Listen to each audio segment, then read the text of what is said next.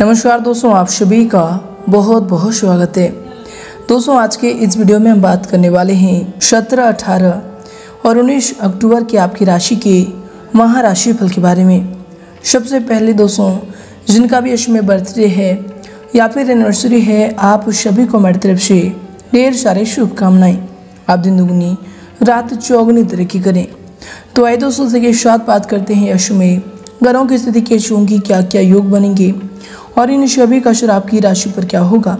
किन किन चीज़ों को लेकर यश में आपको सावधान रहना होगा? और आखिर कौन कौन से कार्य आपके लिए भाग्यशाली होंगे? दोस्तों, यश में आपका लव लाइफ कैसा रहेगा, स्वास्थ्य कैसा रहेगा, करियर कैसा रहेगा। दोस्तों, इन्हें तीन दिनों में आपका पारिवारिक जीवन कैसा रहेगा। आर्थिक स्थिति और धन को लेकर स्थितियाँ कैसे व्यतीत होंगे। इन सभी की महत्वपूर्ण जानकारी देंगे। तो दोस्तों, वीडियो को बिल्कुल ही मिस ना करें और शुरू से लेकर अंत तक ज़रूर देखें। वीडियो के अंत में बहुत ही अच्छे उपाय हैं।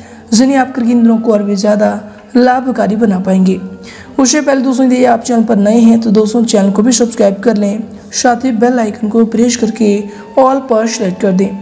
तो आइए दोस्तों, बात करते हैं, जान लेते हैं पहले ग्रहों की स्थिति के बारे में। सबसे पहले दोस्तों, सत्रह अक्टूबर की बात करें। तो दोस्तों दिन रविवार का दिन रहेगा। शुक्ल पक्ष की द्वादशी तिथि रहेगी और दिन सतमिशा नाम का नक्षत्र रहेगा। योग की बात करें तो ध्रुव नाम का शुभ योग रहेगा। और राहु कल का समय शाम के चार बजकर उनतीस मिनट से लेकर शाम के पाँच बजकर पचपन मिनट रहेगा। दोस्तों, ध्यान रहे, आप राहु कल के समय में कोई भी शुभ और महत्वपूर्ण कार्य को बिल्कुल ना करें। और दोस्तों, चंद्रमा दिन कुंभ राशि उपरांत मीन राशि में संचार कर जाएँगे। वहीं दोस्तों, अगले दिन की बात करें तो दोस्तों, अगले दिन सोमवार का दिन होगा। त्रयोदशी तिथि और पूर्व भाद्रपदा नाम का नक्षत्र और सातवीं व्याघात नाम के शुभ रहेंगे। दोस्तों राहु कल के समय दिन सुबह के सात बजकर चौवन मिनट से लेकर सुबह के नौ बजकर बीस मिनट रहेगा। और चंद्रमा का जो संचार है, वो मीन राशि में ही रहेंगे। और दोस्तों, आखिरी दिन 19 अक्टूबर की बात करें तो दोस्तों, ये दिन मंगलवार का दिन होगा। चतुर्दशी तिथि उत्तर भाद्रपद नक्षत्र, और इस दिन हर्षण नाम का शुभ रहेंगे। ये दोस्तों, और इस दिन राहु कल का समय शाम के तीन बजकर दो मिनट से लेकर शाम के चार बजकर अट्ठाईस मिनट रहेगा। और दोस्तों, इस दिन भी चंद्रमा मीन राशि में ही संचार करेंगे। तो आइए दोस्तों बात करते हैं इन तीन दिनों की जो ग्रहों की स्थिति है और चंद्रमा का जो गोचर है, आपकी राशि पर क्या क्या प्रभाव लेकर आती है। चलिए दोस्तों, बात करते हैं पूरी विस्तार से। दोस्तों, इन दिनों में आध्यात्मिक क्षेत्रों से विकास हो सकता है। किसी तरह की कला सजावट से संबंधित क्षेत्रों में आपकी जो है रुचि हो सकती है। पढ़ाई लिखाई से संबंधित लाभ प्राप्त होने की जो है संभावना बन रही है। यदि आप किसी तरह का कोई कोर्स करने का प्रयास कर रहे हैं तो दोस्तों, इन दिनों में आप इनमें सफल हो सकते हैं, स्थितियाँ बेहतर हो सकते हैं, भाग्य आपका साथ देगा। वहीं दोस्तों, इन दिनों में अगर आपकी नेगेटिव को लेकर बात करें तो ये जो आपके लिए समय होंगे इन दिनों में, उच्च अधिकारियों से विवाद होने की संभावना रहेगी। दोस्तों के साथ कुछ संबंध बिगड़ सकते हैं, दूसरों से अपना बर्ताव जो है आप अच्छा रखें। वहीं दोस्तों, इन दिनों में अगर आप सांस रखें तो ये जो बुरा वक्त होगा, ये आसानी से बीत जाएगा। इस बात की यकीन माने कि आप जो है किसी भी परेशानी से लड़ सकते हैं। आपके अंदर वह लड़ने की जो है ताकत है। दोस्तों, इन दिनों में आपके लिए जो समय होंगे, कुछ विशेष परिस्थितियों का जो है निर्माण करने वाला समय होगा। आपके लिए कुछ मामलों में आपके लिए जो परिस्थितियाँ होंगी, सामान्य रहेंगी। लेकिन दोस्तों, कुछ मामलों में ऐसा हो सकता है कि आपको थोड़ा गुस्सा या फिर नाराज़गी जो है जारी करनी पड़ सकती है। दोस्तों, इस तरह के जो व्यवहार से आप जो है दोनों तरह की परिस्थितियों पर विजय पा सकते हैं। दोस्तों, इन दिनों में आपके लिए जो दिन होंगे आध्यात्मिक उन्नति के लिए भी अच्छा दिन होगा। वहीं दोस्तों, इन दिनों में अगर आपकी करियर को लेकर बात करें, ये जो आपके लिए समय होंगे इन दिनों में आपके करियर के मामले में, कार्यस्थल पर आपके लिए परिस्थितियाँ मिलीजुली सी रहेंगी। करियर के लिहाज से ये जो दिन है, सामान्य रहेगा। वहीं दोस्तों, कार्यक्षेत्र पर परिवार का माहौल जो है अच्छा रहेगा। और मित्रों, परिवार के साथ जो है आप दिन का जो है आनंद प्रमोद और मनोरंजन में बिता सकते हैं, जिससे मन प्रफुल्लित रहेगा। ये जो समय होंगे इन दिनों के मध्य के बाद जो समय होगा, व्यापार के अनुकूल वातावरण जो है सर्जित होगा। वहीं दोस्तों, इन दिनों में अगर आपकी लव लाइफ को लेकर बात करें तो ये जो आपके लिए समय होंगे इन दिनों में, साथी के साथ मतभेद के कारण, प्रेम संबंध में परेशानी व फिर तनाव उत्पन्न हो सकता है। बच्चों को भी किसी जो परेशानी का इन दिनों में सामना करना पड़ सकता है। लेकिन दोस्तों, जीवन साथी को इस समय का जो है लाभ प्राप्त होगा। ये जो आपके लिए समय होंगे इन दिनों में, आपको किसी पारिवारिक कार्यक्रम में शामिल होने का भी मौका मिल सकता है। वहीं दोस्तों, इन दिनों में अगर आपकी हेल्थ को लेकर बात करें तो आपको हाथों में चोट लग सकती है। कोई भी काम जो है आप सतर्क तरीके से करें। ये जो आपके लिए समय होंगे, शारीरिक और मानसिक ताजगी के साथ घर में भी आप आनंद का वातावरण महसूस कर सकते हैं।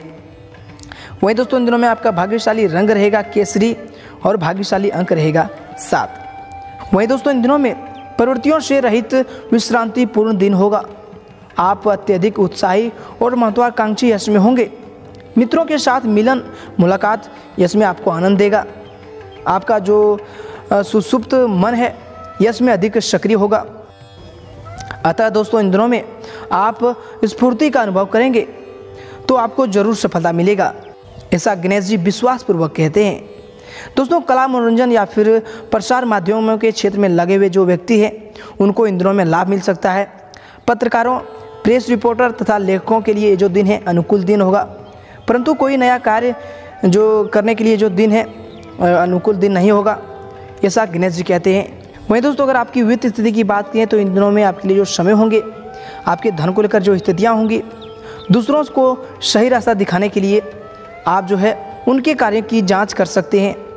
आपको अपने सहयोगों की आलोचना नहीं करनी चाहिए, अन्यथा वे सोच सकते हैं कि आप जो है बहुत स्मार्ट बन रहे हैं। दोस्तों, इन दिनों में आप दुनिया के शीर्ष पर जो है नहीं हो सकते।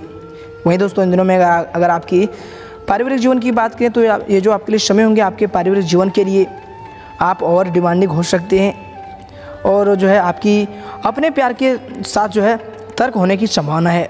अतः दोस्तों, यश में आप सावधान रहें। अपने साथी को खुश रखने के लिए जो है नम्र होने का प्रयास करें तो आपके लिए बेहतर होगा। जब आपका पीर आपके साथ होगा तो आपकी जो भावना है वो बेहतर तरीके से आप संभाल सकेंगे। वहीं दोस्तों, इन दिनों में अगर आपकी आर्थिक स्थिति की बात करें तो दोस्तों, गणेश जी का मानना है कि ये जो आपके लिए समय होंगे, आपके आर्थिक स्थिति के लिए वित्तीय मामलों पर अधिक जो है ध्यान देंगे, क्योंकि पैसे के मामले में आपकी स्थिति जो है तंग होने वाली है। आपके पास पैसे कमाने के बारे में कुछ विचार हैं और आप अपना खुद का रास्ता प्रस्त करेंगे।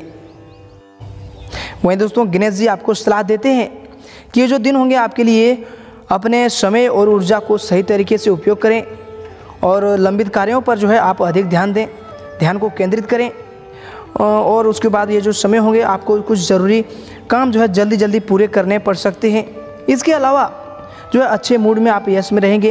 वही दोस्तों, इन दिनों में स्वास्थ्य संबंधी मामलों के लिए अधिक सावधान रहने की आप जो है कोशिश करें। दोस्तों, इन दिनों में आपका जो दोस्त है, आपका परिचय किसी खास व्यक्ति से करवाएँगे, जो आपकी सोच पर गहरा प्रभाव डालेगा। अचानक आए खर्चे, आर्थिक बोझ बढ़ा सकते हैं। आपको अपने रोज़मर्रा के कामों से जो है छुट्टी लेकर इन दिनों में दोस्तों के साथ घूमने का कार्यक्रम बनाना चाहिए। ये जो समय होंगे आपके लिए, आपके दिल की धड़कनें अपने पीर के साथ ताल से ताल मिलाती जो है मालूम होंगी। जी हाँ यह प्यार का ही खुमार है। दोस्तों, आप खुद को समय देना जानते हैं और इन दिनों में आपको काफ़ी खाली समय मिलने वाला है। खाली समय में आप जो है कोई खेल कर सकते हैं। या फिर जिम जा सकते हैं। वैवाहिक जीवन के दृष्टिकोण से देखें तो ये जो दिन होंगे, चीज़ें आपके पक्ष में जो है जाती हुई नज़र आ रही है और शांति का यह समय जो है आपके वास आपके दिल में रहेगा और इसलिए आप घर में भी अच्छा माहौल बना पाएँगे। साथ ही दोस्तों, इन दिनों में आप जो है नहाने से पूर्व नाभि में तेल लगाकर फिर से पूरे शरीर में तेल लगाएँ, उसके बाद स्नान करें। इससे आपकी आर्थिक स्थिति जो है और भी बेहतर होंगी। दोस्तों यश में आपको कौन से महत्वपूर्ण उपायों को करना चाहिए? दोस्तों, आपको बता दें कि मृत्यु तुल कष्टग्रस्त रोगी को छुटकारा दिलाने के लिए, जो के आटे में तिल एवं सरसों का तेल मिलाकर जो है मोटी रोटी बनाएँ और उसे रोगी के ऊपर से सात बार उतार कर भैंस को खिला दें। जहाँ दोस्तों, यह क्रिया करते समय ईश्वर से रोगी को शीघ्र स्वस्थ होने की प्रार्थना भी ज़रूर करें। जहाँ दोस्तों, और यह उपाय आपके लिए बहुत ही भाग्यशाली साबित होंगे।